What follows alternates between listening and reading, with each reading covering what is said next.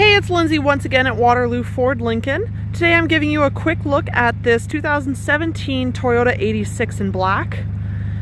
This car has the 2 liter 4 cylinder engine with automatic transmission and rear wheel drive.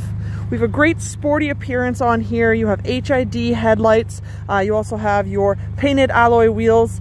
Uh, it's a two-door coupe, so it seats a total of four passengers inside of this car.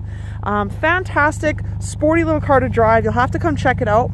If you have any questions about this car, definitely get in touch with us at waterlooford.com or come stop by our dealership at 11420 107th Ave Northwest in Edmonton, Alberta. In the meantime, to stay up to date with everything here, make sure you like us on Facebook, follow us on Instagram and Twitter, and subscribe to our YouTube channel.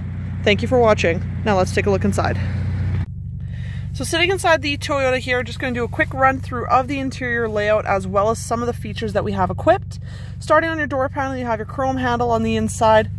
You have your power windows down below. You also have your power locks and your power mirrors.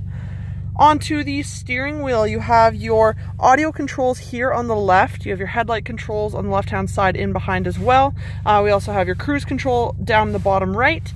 As you can see in behind the steering wheel, you have paddle shifters located here. Even though it is an automatic, it'll give you that nice uh, feeling of driving a standard. Moving over to the center area, you have this touch capable uh, stereo system in here. It is the standard Toyota system, so it comes with AM, FM radio. You also have Bluetooth connectivity, USB connectivity. Uh, we also have auxiliary input on here as well. So whatever you choose to listen to, it's pretty much available to you. Uh, down below, you have your hazard lights dead center in the middle. You have your time here on the left. We have climate control just below that as well. Down below, you have your USB plug-in as well as a USB plug-in. Then you have your gear shifter located here. Um, when you flip into reverse, you'll see that the reverse camera comes on for you.